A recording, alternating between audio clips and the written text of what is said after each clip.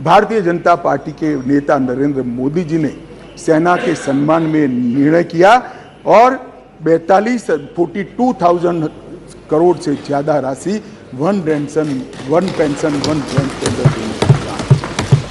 मान्यवर, दुनिया में अस्थिरता बढ़ी चाहे यूक्रेन हो, यमन हो, चाहे कोरोना में दुनिया भर में बसते हुए हमारे भारतीय हो, नब्बे से ज़्यादा यूक्रेन से उड़ाने कर दोनों राष्ट्राध्यक्षों से बात कर कर तीन दिन तक युद्ध बंद कर कर तेईस हज़ार भारतीयों को घर पे लाने का काम नरेंद्र मोदी ऑपरेशन राहत, पाँच हज़ार भारतीय और दो हज़ार विदेशी नागरिकों को वहाँ से यमन से निकाला और दो लाख उड़ानों के माध्यम से 2.97 लाख मतलब तीन करोड़ करीब करीब यात्रियों को सकुशल कोरोना के वक्त वंदे भारत मिशन के तहत वापिस मान्यवर, चीन की सीमा पर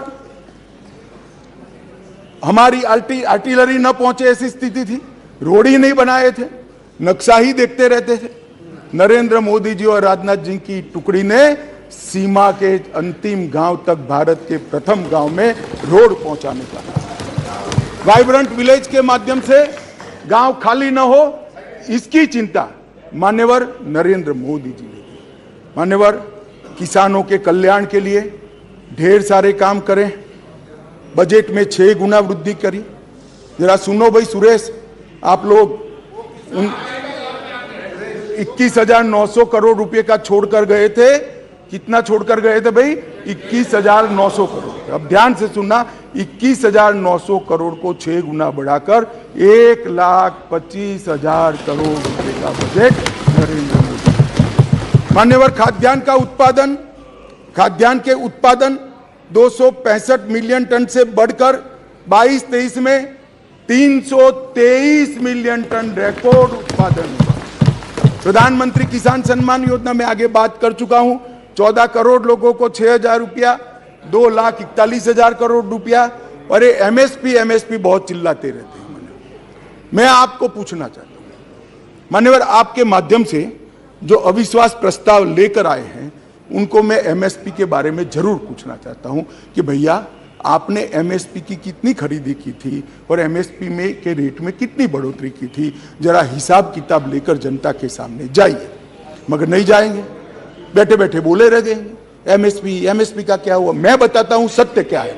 और मैं इस सदन के माध्यम से देश की जनता को और 14 करोड़ किसानों को कहना चाहता हूँ कि आपके घर में सबसे ज़्यादा एमएसपी और एमएसपी पर सबसे ज़्यादा धान खरीदने का काम कोई एक सरकार ने किया है तो नरेंद्र मोदी। मान्यवर, धान की खरीदी पहले ध्यान से सुनना। सभी सभासदों को मेरा विनंती है, ध्यान से सुनिए।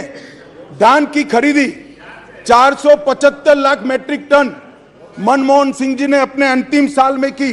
मैं फिर से आंकड़ा बोलता हूँ 475 लाख मैट्रिक टन नरेंद्र मोदी जी ने अंतिम खरीदी, आठ सौ छियानवे लाख मैट्रिक टन 88 प्रतिशत की वृद्धि।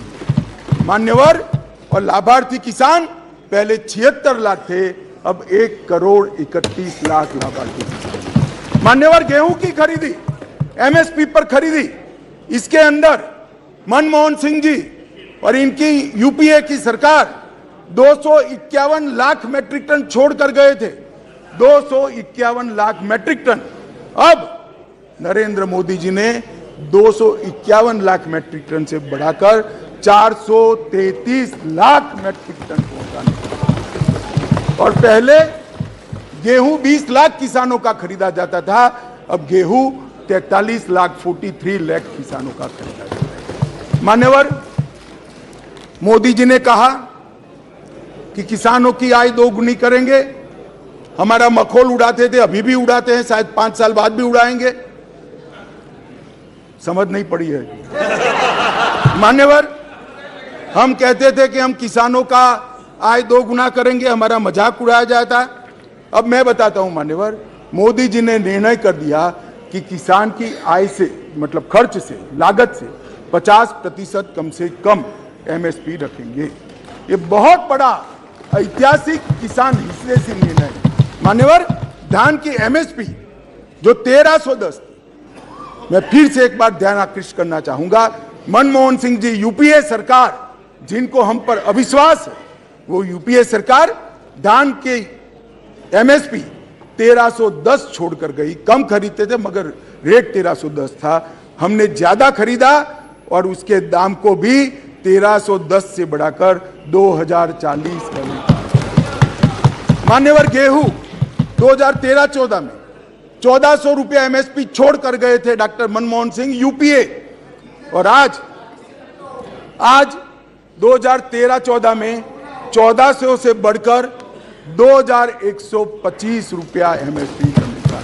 हमने गेहूँ ज़्यादा भी खरीदा और गेहूँ का दाम भी ज़्यादा दिया मान्यवर, ये ना ही किसान हितेशी है, ना एक गरीब हितेशी है, ना एक पिछड़ा हितेशी है, उनको अपने परिवारों के अलावे किसी का ध्यान नहीं और इसलिए मोदी जी ने आज कहा है 9 तारीख को आज कहा है, नौ अगस्त को।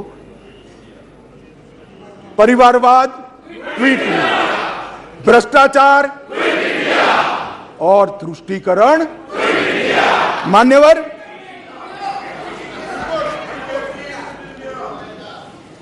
मान्यवर, मैं देश की आंतरिक सुरक्षा के प्रति आपका ध्यान आकृष्ट करना चाहता हूँ।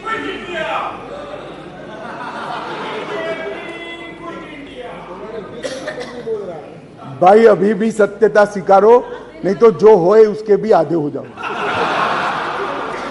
मान्यवर, मैं देश की आंतरिक सुरक्षा के प्रति इस देश की जनता का आपके माध्यम से और महान सदन के माध्यम से मान्यवर, पीएफआई कई सालों से देश को तोड़ने की, देश की जनसांख्यिकी बदलने की और देश के अंदर आतंकवाद के बीज बोने का काम कर रही थी। एक दिन, एक ही दिन में सितंबर 22 में 15 राज्यों में 90 से ज़्यादा स्थानों पर रेड कर कर पीएफआई पर बैन लगाकर जेल की सलाखों के पीछे डाल मान्यवर देश भर में पीएफआई को हमने बैन किया। दुनिया भर में भागे हुए गुनेगारों को आज वापिस लिया जाता है।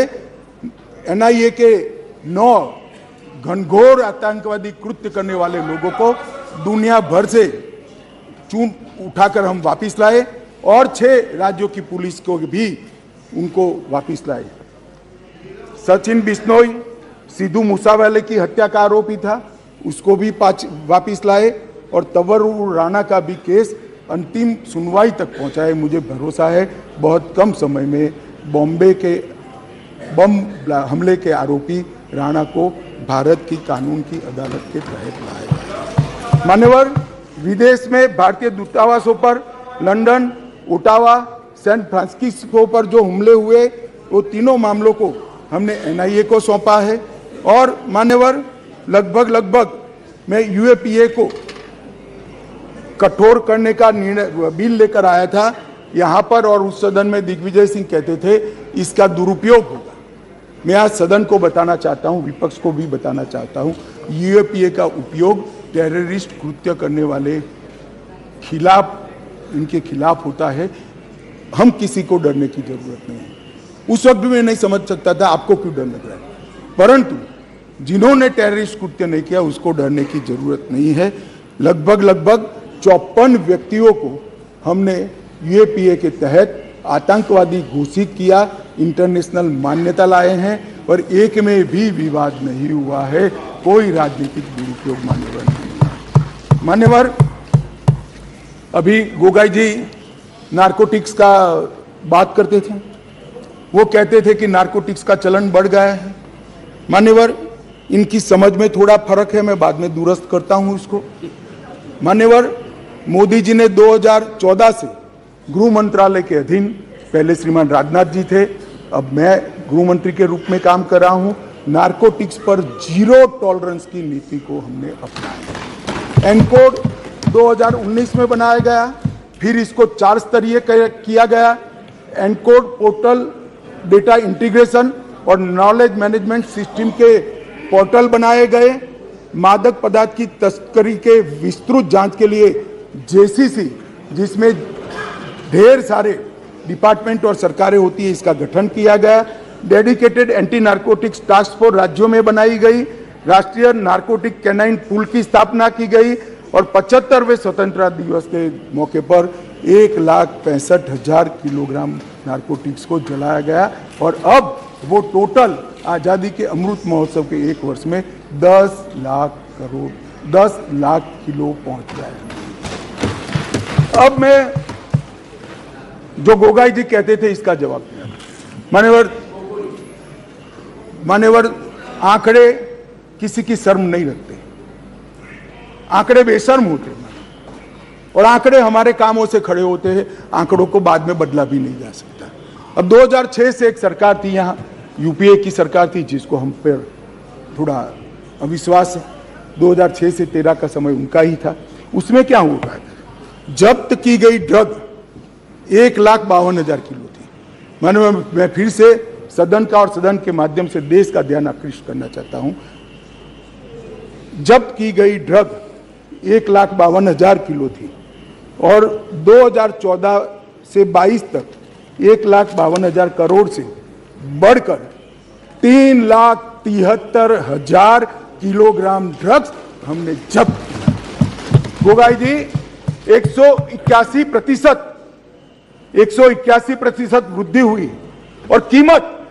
गांजा पकड़ लेना, भाँग पकड़ लेना, एक बात है। जो महँगे और शरीर को ज़्यादा नुकसान करने वाले और पैसे की दृष्टि से नुकसान करने वाले जो नार्कोटिक्स के पदार्थ है, वो कीमत से मान्यवर 2006 से 13 में, मान्यवर 2006 से 13 में सात सौ अड़सठ करोड़ की ड्रग पकड़ी गई।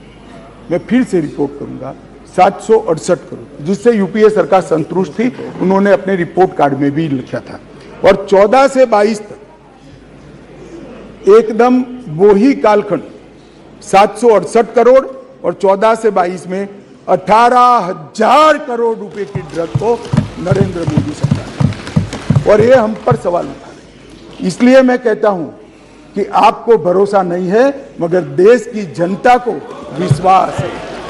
कुल मामले बारह दर्ज किए थे, अब सैतीस अब इन्होंने कल यहाँ ज्ञान बांटा कि पहले बारह थे, अब देखिए बढ़ गए, सैतीस हो गए। भाई नारकोटिक्स के खिलाफ केस अच्छे हैं या बुरे माने जाएँगे?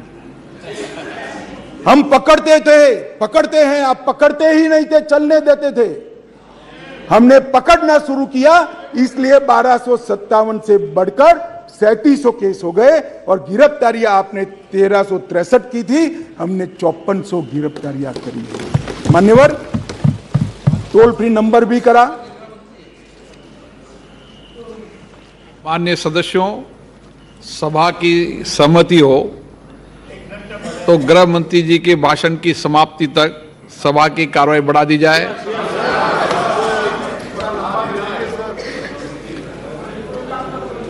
मान्यवर।